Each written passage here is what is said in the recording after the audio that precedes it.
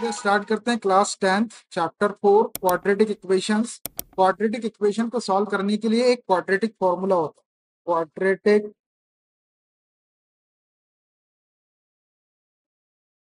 Formula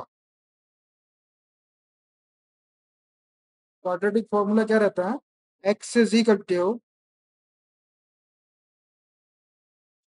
minus B plus minus under root B square minus four A C upon two A ये quadratic formula है। Quadratic equation को solve करने के लिए एक फॉर्मूला है, उसका नाम है quadratic formula X is equal to minus B plus minus under B square minus four A C upon जो क्वाड्रेटिक इक्वेशन रहता है इसको general quadratic equation A X square plus B X plus C is equal to zero से compare करके पहले ए B C की value निकाल लेते हैं। और वो वैल्यूज़ को यहाँ पर रखते हैं। रखने के बाद में एक बार प्लस साइन ले लेंगे तो एक्स की एक वैल्यू आ जाएगी तो उसका एक रूट हो जाएगा और एक बार ये वाला माइनस साइन ले लेंगे और सॉल्व करेंगे तो एक्स की एक वैल्यू और आ जाएगी उसको, उसका दूसरा रूट या उसका दूसरा सोल्यूशन बोलेंगे। क्वाड्रेटिक इक्वेशन के दो रूट्स या दो सोल्यूशन आते हैं तो ये क्वाड्रेटिक फॉर्मूले की हेल्प से भी हम क्वाड्रेटिक इक्वेशन को सॉल्व कर सकते हैं। अभी क्या हुआ है कि आपके सिलेबस से ये क्वाड्रेटिक फॉर्मूला हटा दिया उसे 2023-24 में से इसको हटा दिया, इसलिए मैं इसको प्रूव करके नहीं बताया मैंने। आपको नहीं तो ये कैसे आता है, मैं प्रूव करके ही बताता हूँ। हटा दिया उसने तो इसलिए छोड़ दो लेकिन आपको इसको याद रखना पड़ेगा, बहुत काम का याद करो इसको। X is equal to minus B plus minus under B square minus four A C upon एक बार प्लस लेना पड़ता है और एक बार माइनस लेना पड़ता है तो एक्स की दो वैल्यू निकलती है। उसी को उसके रूट्स या उसके सोल्यूशन कहते हैं। ठीक है, याद करो इसको। X is equal to minus B plus minus under B square minus four A C upon two A हो जाएगा यार? अब देखो, यहाँ पर जो एक्स की वैल्यूज़ रहती है, उसी को इसके रूट्स या उसके सोल्यूशन कहते हैं। तो एक बार प्लस साइन ले लेते हैं इसका तो जो एक वैल्यू आएगी उसको अल्फ़ा ले लेते हैं। एट एक्स की एक वैल्यू को अल्फ़ा ले अल्फ़ा इज़ इक्वल टू यहाँ से प्लस का साइन ले लो। तो minus B plus under root B square minus four A C upon two A यहाँ पे क्या किया अपन ने? Taking positive side taking positive side plus B लिखा है शॉर्ट में, इसको पॉजिटिव पढ़ते पॉजिटिव साइन एक बार इसका नेगेटिव साइन ले लो। And beta is equal to X की एक वैल्यू को बीटा ले ली। Minus B minus under root B square minus four A C upon two A taking negative sign यहाँ पे अपने नेगेटिव साइन टेकिंग नेगेटिव को माइनस बी लिख लो। यहाँ से एक बार पॉजिटिव साइन लिए तो अल्फ़ा आ गया, यहाँ से एक बार नेगेटिव साइन लिए तो बीटा आ गया। ये अल्फ़ा और बीटा जो है क्वाड्रेटिक इक्वेशन के दो रूट्स कहलाते हैं या दो सॉल्यूशंस कहलाते हैं अल्फ़ा और बीटा अब ये रूट्स बोला मैंने इसको अल्फ़ा और बीटा को, ठीक है? और ये दोनों है क्या? अल्फ़ा और बीटा ये एक्स की वैल्यूज़ है। एक बार प्लस वाली वैल्यू लिए अपन, इसलिए उसको अल्फ़ा ले लिया। एक बार माइनस वाली वैल्यू लिए तो उसको बीटा दोनों भी वैल्यू एक्स की चाहिए। अब the roots alpha and beta are depending on the value ये अल्फ़ा और बीटा जो है, इसकी जो वैल्यू है, ये B square minus four A जो अंडर रूट के अंदर दिख रहा है, इसके ऊपर डिपेंड करती है। जैसे देखो यहाँ B square minus four A यहाँ भी दिख रहा है और अंडर रूट के अंदर B square minus four A C यहाँ भी दिख। रहा है ये वाली जो भी वैल्यू रहेगी, वो वैल्यू माइनस बी में प्लस होगी यहाँ पर और ये वाली वैल्यू यहाँ पर माइनस बी में से माइनस होगी। तो ये जो अल्फ़ा और बीटा है, इसकी जो वैल्यू है, ये B square minus four A C के ऊपर डिपेंड करती है। और इस B square minus four A C को डिस्क्रिमिनेंट ऑफ़ क्वाड्रेटिक इक्वेशन कहते हैं। क्वाड्रेटिक इक्वेशन का डिस्क्रिमिनेंट कहलाता है। मैं लिख देता हूँ इसको। The values of roots alpha and beta are depending depending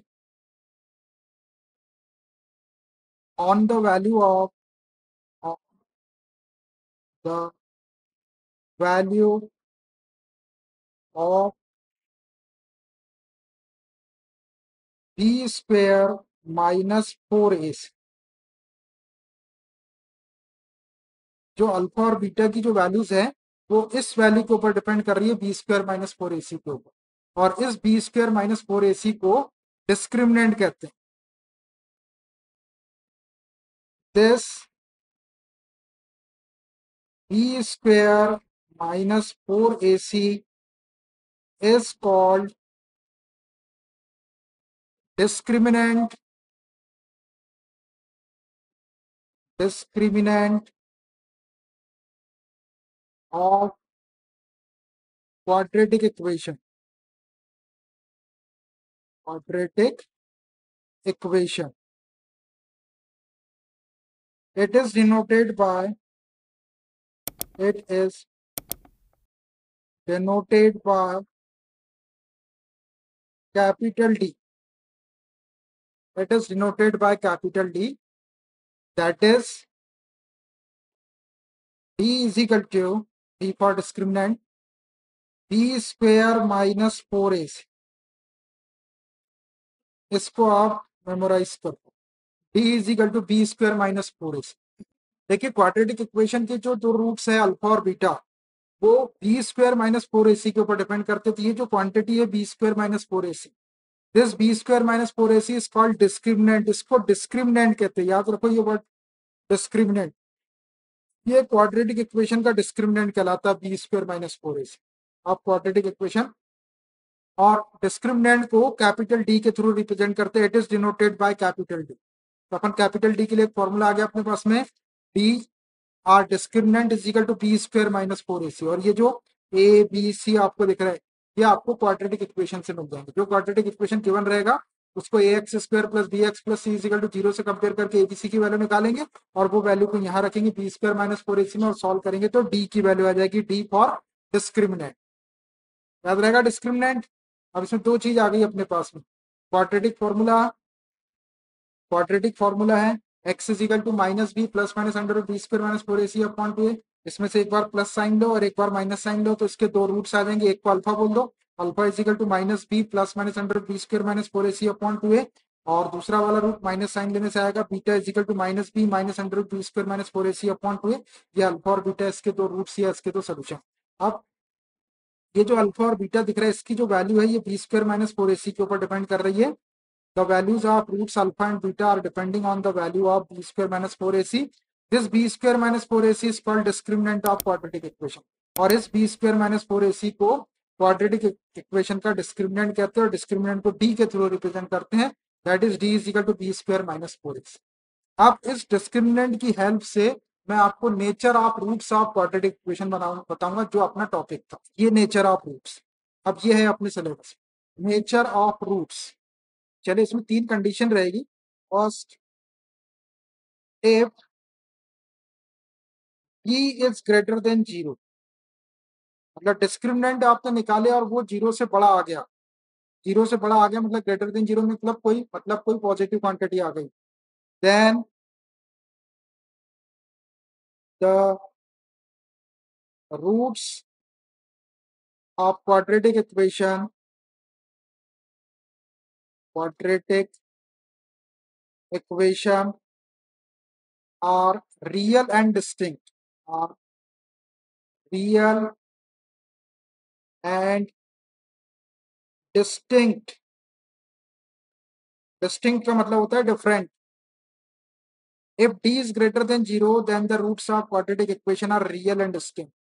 अगर डिस्क्रिमिनेंट की वैल्यू ग्रेटर देन ज़ीरो आ गई मतलब कोई पॉजिटिव क्वांटिटी है one two three four zero से बड़ी कोई भी चीज़ आ गई तो उस कंडीशन में जो क्वाड्रेटिक इक्वेशन है उसके रूट्स रियल होंगे। रियल मतलब रैशनल भी हो सकते हैं रैशनल भी हो सकते हैं और वो अलग अलग अल्फ़ा की वैल्यू अलग होगी और बीटा की वैल्यू अलग होगी। क्यों? क्योंकि डी जो है ये डी है आपका B square minus four A C जब ये B square minus four A C की value D square minus four C की वैल्यू यहाँ रखेंगे डी की वैल्यू यहाँ रखेंगे? ये अंडर रूट डी हो जाएगा। यहाँ रखे आपने D D square minus four C को डी रखे। अंडर रूट डी को minus D plus under root D करेंगे तो अल्फ़ा की एक वैल्यू आएगी। यहाँ प्लस हुआ और कोई डी को यहाँ रखे आपने तो minus B minus under root D इसमें से इसको माइनस करेंगे तो दोनों की वैल्यू रियल आएगी अल्फ़ा और बीटा लेकिन अलग अलग आएगी क्योंकि इसमें प्लस हो रहा है ये डी और इसमें से माइनस है। इसलिए उसको डिस्टिंग बोलते डिस्टिंग मतलब डिफरेंट या अलग अलग याद कर लो आप पहली condition if D is greater than zero अगर आता है then the roots of quadratic equation are real and distinct चलिए second condition if D is equal to zero आ गया डिस्क्रिमिनेंट ज़ीरो आ गया then the roots of quadratic equation